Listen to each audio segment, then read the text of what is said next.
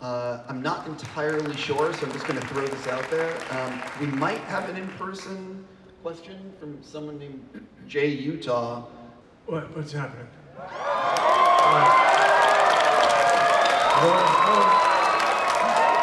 Didn't see.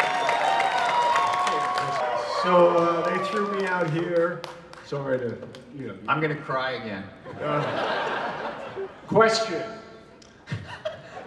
Yeah, I do have a question. Um, so one of the things about the first three John Wick films, it takes place mostly in New York, and one of the things that I think is very exciting about the fourth one is it's international. So can you guys sort of talk about the locations where it you know where the sequel takes place?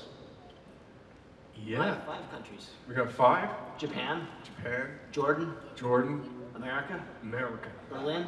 Berlin. Wait, France. wait, that's wait. You mean Germany? Yeah, Germany. I, I went to an American high school.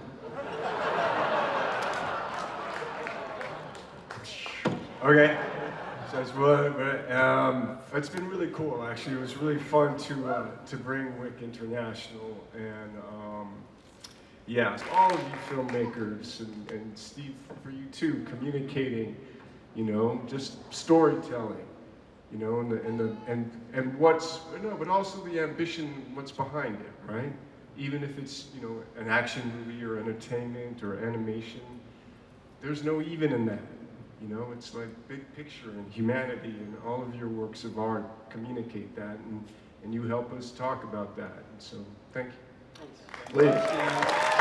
Anyway, anyway, anyway, thanks for having me. Thanks for letting me, uh, uh, you know, jump out here.